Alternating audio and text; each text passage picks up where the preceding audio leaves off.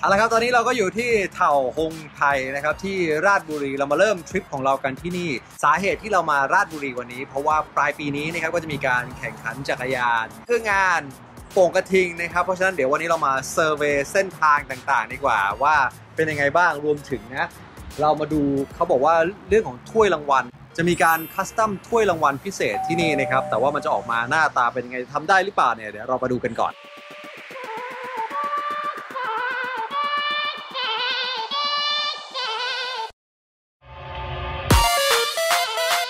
ถึงราชบุรีก็ต้องแน่นอนโอ่งนะครับที่นี่แถวคงไทยนะครับ ก็เป็นเนี่ยอย่างที่เห็นมีทั้งเซรามิกมีทั้งโอ่งต่างๆนะครับเรามาดูว่าเขาสามารถที่จะคัสตอมถ้วยรางวัลของเราให้ออกมาเป็นแบบว่าเรียกว่าหนึ่งเดียวในโลกใบนี้ได้หรือเปล่า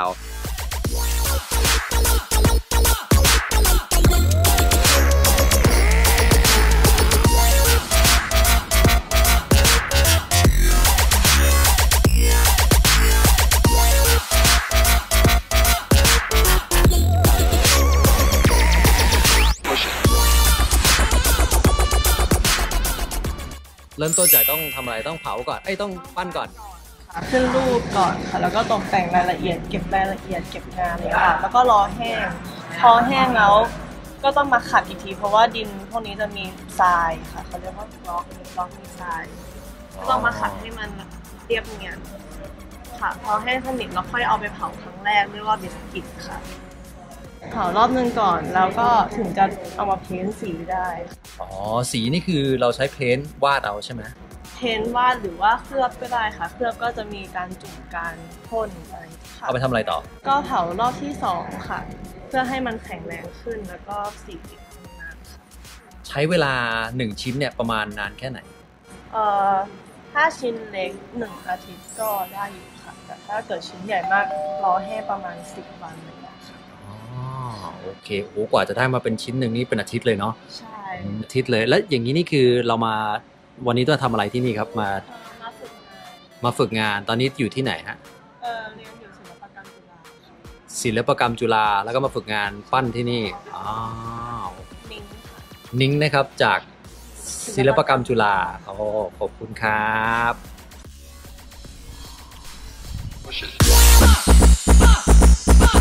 โป่งกระทิงนะครับในปีนี้ก็จะจัดช่วงเดือนธันวาคมนะครับยังไงก็อย่าลืมเข้ามาร่วมสนุกร่วมแจมกันได้เลยนะเราก็ได้เห็นในเรื่องเกี่ยวกับ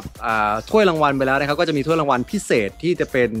KOM นะครับหรือว่าเจ้าภูเขาดีไซน์ของถ้วยรางวัลนะครับเราก็วันนี้ก็มาดูว่า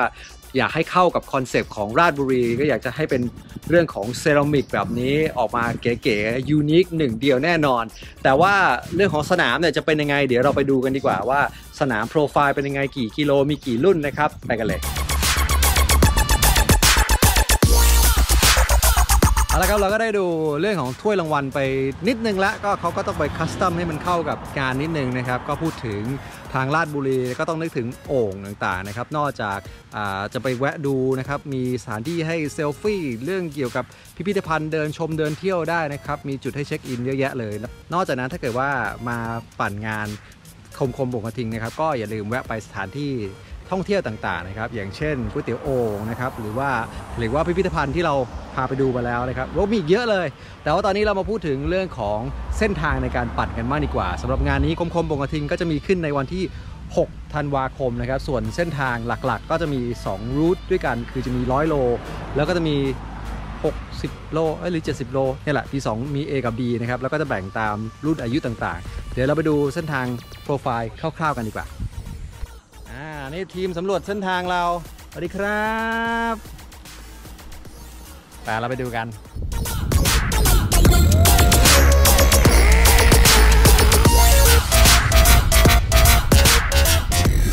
สำหรับอ่เพื่อนๆคนไหนนะครับ ก็อันนี้เล่าให้ฟังแล้วกัน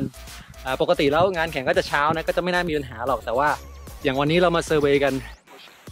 เที่ยงเลยนะครับ บ่ายโมงเที่ยงแดดร้อนมากและที่นี่ลมแรงมากนะ ก็ทำให้นะครับเรียกว่าไม่มีเหงื่อเลย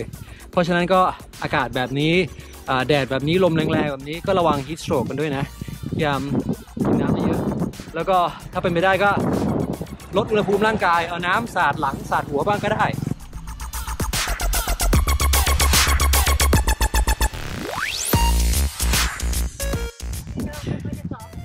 เคหลัก กิโลเมตรที่ 24 กำแพงปูน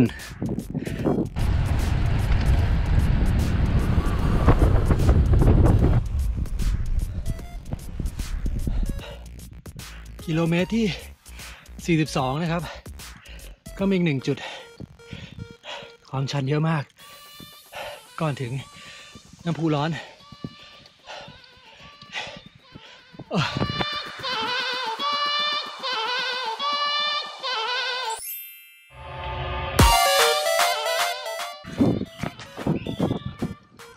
โอเค ข้างหน้าเราก็จะถึงบ่อน้ำพุร้อนแล้วนะครับ ถนนจะเริ่มค่อนข้างจะคดเคี้ยวแล้วก็แคบนิดหนึ่งอ่าพูดถึงเส้นทางนิดนึงดีกว่า เริ่มมา อย่างที่บอกว่าช่วงแรกก็จะเป็นเนินโรลลิ่งถึงกิโลเมตรที่ 24 ก็ไปเจอกำแพงปูน อันนี้ก็คือจุดที่จะเป็น KOM นะครับ ก็จะงัดขึ้นไปเลย 1 กิโล แล้วก็ที่ยอดก็จะเป็น KOM นะครับ ใครที่ได้ถึงตรงนั้นเร็วที่สุดก็มีรางวัลพิเศษ KOM มาให้ หลังจากนั้นก็จะคดเคี้ยวไปมามีเนินโรลลิ่งแต่ก็จะไม่เยอะละ เป็นโรลลิ่งซึมๆแล้วนะครับ ก็มาเรื่อยๆ จนถึงกิโลเมตรที่ 42 นะ คือตรงนี้แหละ ใช่เลยก็จะเป็นถึงกิโลเมตรที่ 42 ตรงนี้แหละ ก็จะงัดขึ้นมาอีกทีนะครับ แล้วก็จะค่อนข้างที่จะเร็วเลย เพราะฉะนั้นก็ต้อง ระวังหน่อยนะแต่ว่าเส้นทางสวยมากเลยนะเอาล่ะ ถึงน้ำพุร้อนละอ่าถึงแล้วนะครับ น้ำพุร้อนเย้เดี๋ยวเราไปแช่น้ำกันนี่งดแช่งดแช่แล้วเล่นน้ำครับอุตส่าห์ปั่นมาถึง